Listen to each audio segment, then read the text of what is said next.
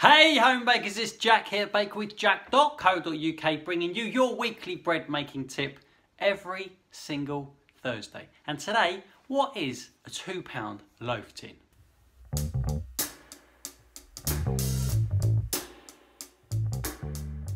Hey everybody, welcome back. Nice to see you here again every single Thursday for my weekly bread making tip. And if you are brand new here, this is bread tip number 57, which means there are 56 more bread tips awaiting your discovery. And if you go way back to the beginning, they are properly dodgy. So uh, have a little watch and enjoy yourself.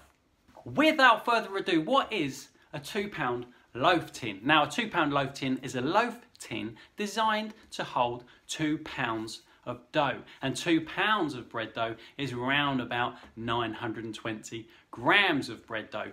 Feel free to correct my maths underneath if you like. But 920 grams of bread dough will fit into a two pound loaf tin, which means that when I make a loaf, uh, 500 grams of flour is what I use to make a loaf, which creates a dough around about 850 grams, give or take anything extra. For example, seeds. If I add 100 grams of seeds, that's 950 grams. It's around about two pounds anyway, and that's the sort of dough size that I put into a two pound loaf tin. Now a two pound loaf tin sounds like a two pound loaf tin. It's the same as a two pound loaf tin. It's designed to hold the same amount of dough, but it's not always the same size as the next two pound loaf tin. Let me show you one that I like to use the most.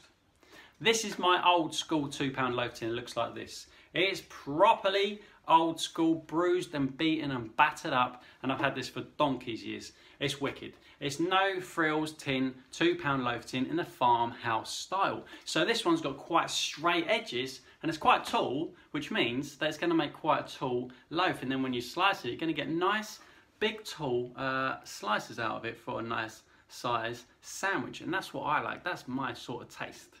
Here's the same tin in the modern equivalent. Non-stick, nice, like it. It's a little bit more swish and a little bit more swanky and that's what we like sometimes. This is the one that I use in my courses and bread making classes. It's exactly the same size and shape as the other one, it's just a little bit non-stick and it helps us out a touch.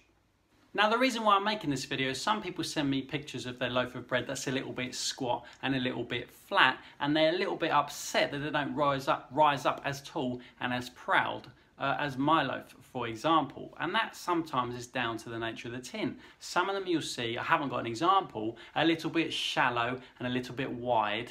And then they so they won't make a nice big proud slice of bread. They're going to make a slightly smaller, squatter slice of bread, but don't be sad, it's just the nature of your tin. Now to give you an idea, a little contrast of that, I've got another two pound loaf tin that I purchased from a local shop for a pound each, and these are awesome. Look at these. They're really long and really uh, narrow and a little bit squatter than the other one. Let me show you the other one to compare it. See what I mean?